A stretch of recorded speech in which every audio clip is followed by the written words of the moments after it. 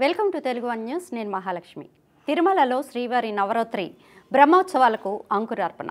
తిరుమల శ్రీవారి నవరాత్రి బ్రహ్మోత్సవాలు అక్టోబర్ పదిహేను నుండి ఇరవై మూడవ తేదీ వరకు జరగనున్నాయి. ఇందుకోసం అక్టోబర్ పద్నాలుగున అంకురార్పణ నిర్వహించారు.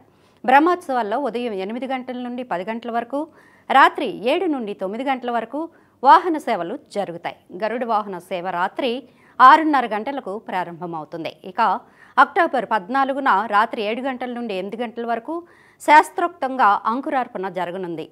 వైఖానస ఆగమంలోని క్రతువుల్లో అంకురార్పణం లేదా బీజ వాపనం అత్యంత ముఖ్యమైనది. ఏదైనా ఉత్సవం నిర్వహించే ముందు అది విజయవంతం కావాలని కోరుతూ స్వామివారిని ప్రార్థించేందుకు అంకురార్పణ నిర్వహిస్తారు. ఇందులో భాగంగా శ్రీవారి తరపున సేనాధిపతి అయిన శ్రీ విశ్వక్షేణుడు తిరుమల నాలుగు మాడ వీధుల్లో ఊరేగింపుగా వెళ్ళి బ్రహ్మోత్సవాల ఏర్పాట్లను పర్యవేక్షిస్తారు. అనంతరం అంకురార్పణ కార్యక్రమంలో భాగంగా ఆలయంలో భూమాతకు ప్రత్యేక పూజలు నిర్వహించి పుట్టమన్నులో నవధాన్యాలను నాటుతారు. నవధాన్యాలకు మొలకలొచ్చే వరకు నీటిని పోస్తారు.